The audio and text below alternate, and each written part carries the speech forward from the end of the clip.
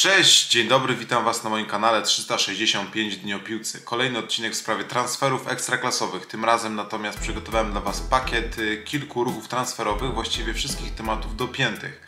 W odróżnieniu od formatu poprzedniego, czyli odcinka numer 1 Transfery Ekstraklasa, w których to mówiłem też o plotkach, o medialnych doniesieniach, bardzo się cieszę z Waszej aktywności w komentarzach pod tym materiałem, bo tak jak wspomniałem na samym początku, w tamtym filmie wiele spraw pozostaje tylko w przestrzeni wyobraźni dziennikarzy i nie mają żadnego jakby pokrycia z rzeczywistością. E, natomiast teraz chcę Wam powiedzieć tylko o transferach dokonanych, transferach faktycznych. Niektóre odbyły się kilka tygodni temu, więc są już trochę, mówiąc kolokwialnie, stare ale chcę Wam o nich powiedzieć, bo może o, tym nie do końca wiecie. I wszystko raz jeszcze mówię, jest już tematem dopiętym i absolutnie pewnym mm, z stanowiska klubów. Zapraszam. Artur Borut, zacznę sobie od bramkarza Legii Warszawa i wydarzenia Kings Party, które będzie miało miejsce 20 lipca na stadionie przy Łazienkowskiej 3. Będzie to taki mecz e, charytatywny, towarzyski, upamiętniający e, karierę Artura Boruca, bo 42-latek już ostatecznie zawieszał buty na korku. E, pożegna się w pięknym stylu, no bo przecież z swoją byłą drużyną z Celtic FC, w którym rozegrał 5 sezonów lat 2005-2010 był niezwykle udany w jego piłkarskiej karierze. Wydaje mi się, że absolutnie pik Mm, jego kariery, mm, trzy mistrzostwa Szkocji, później występy w Serie A barwach Florentiny, a, a później e, mecze znów na Wyspach, tylko brytyjskich i sezony spędzone w Southampton i w Bournemouth. A zostając przy tematach bramkarza i kolej, e, bramkarzy i kolejnego piłkarza Legii, no to to golkiper e, o nazwisku Strebinger odchodzi już oficjalnie z Legii. Jego licznik zamknął się tylko na 6 występach, to jest 5 w lidze i 1 w Pucharze Polski. Porażka z Rakowem Częstochowa 0 do 1. Wydaje mi się, że no absolutnie nie wypał transferowy i w topa. E, przy tym ruchu ja też o tym wspomniałem w którymś tam podcaście pomoczowym e, Legii, że e, dziwny ruch, bo pamiętam w jakiej sytuacji w przerwie między rundami była Legia Warszawa. Pozyskano, czy właściwie wrócił do Legii Paweł Wszołek na wypożyczenie półroczne z Unionu. Strebinger jako bramkarz no miał być wzmocnienie, natomiast absolutnie nie o taką pozycję wtedy chodziło. Wydaje mi się, że nie było koniecznie zapotrzebowania na pozycję bramkarza w kontekście no, wtedy jeszcze walki Legii o utrzymanie. Jakub Lutostański, e, młodzieżówka drużyny Jagiellonii, w której rozegrał w tej e, głównej drużynie kilka spotkań, natomiast e, znamy go m.in. z Centralnej Ligi Juniorów, w którym to strzelił 23 bramki w poprzednim sezonie i został królem strzelców. Swoją karierę postanawia kontynuować w Śląsku Wrocław. Trafił do drużyny Iwana Dziurdziewicza, czyli nowego trenera, który wcześniej E, prowadził Chrobry Głogów. E, e, młody napastnik ma być kolejną opcją do ataków właśnie w tej formacji ofensywnej nowego trenera Śląska. Zobaczymy jak to będzie wyglądało. Miejmy tylko nadzieję, że swoje szanse dostanie i będzie mógł się w Śląsku pokazać. Szymon Kobusiński to jest kolejny piłkarz Zagłębia Lubin. Ja w poprzednim chociażby materiale mówiłem, że Zagłębie jest też aktywny na tym rynku transferowym. Wcześniej ofensywny pomocnik grał w pierwszoligowej Puszczy Niepołomice na zapleczu Ekstraklasy. 11 goli w 29 meczach e, ligowych. Prześledziłem sobie jego spotkania na platformie Flashcore. Część spotkań e, grał właściwie od 60-70 e, minuty, także nie był często piłkarzem wchodzącym, natomiast bramkę potrafił strzelić, dając właśnie akcent ofensywny. Ciekawe jak to będzie wyglądało w Zagłębiu Lubin, w którym to między innymi, z którego to między innymi odszedł Patryk Krzyż, czyli taka główna postać ofensywna, a także Łukasz Poręba, czyli lider środka pola. Miejmy nadzieję, że że Kobusiński swoje szanse w Zagłębiu otrzyma. Artur Rudko, wcześniej metalist Charków, e, dzisiaj Lech Poznań. Kolejny z ruchów transferowych powiązanych z bramką.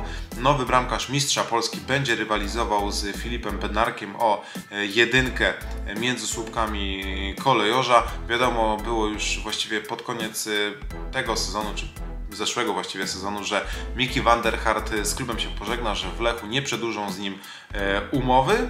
E, zobaczymy jak będzie wyglądała właśnie konkurencja na linii Bednarek-Rudko.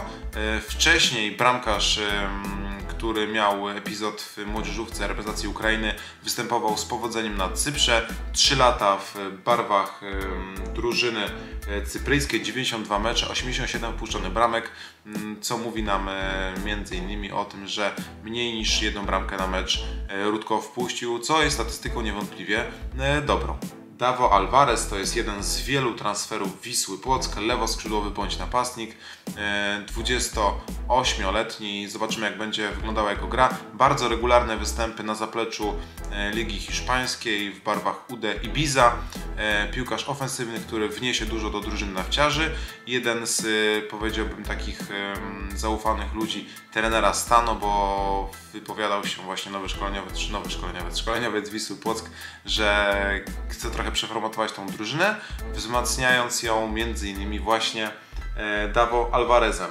E, Steve Capaldi, e, środkowy obrońca, nowy z piłkarzy Wisły Płock, kolejny ruch transferowy. Bardzo ciekawy piłkarz, z którym wiązane są nadzieje na środku obrony. Piłkarz młody, ale niesamowicie doświadczony.